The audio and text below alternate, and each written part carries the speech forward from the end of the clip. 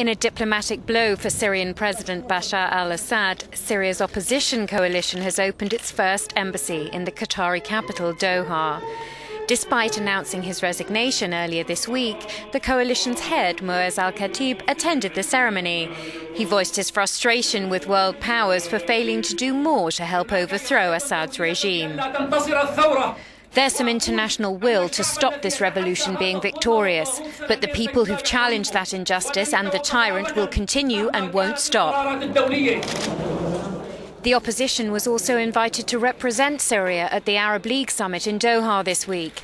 Euronews correspondent Maha Barada reports from there.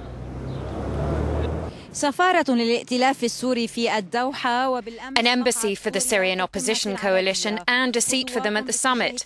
Both of these are steps towards reinforcing their position as the legitimate representative of the Syrian people. Will we see similar steps in other countries and institutions in the coming days? Maha Barada, Euronews.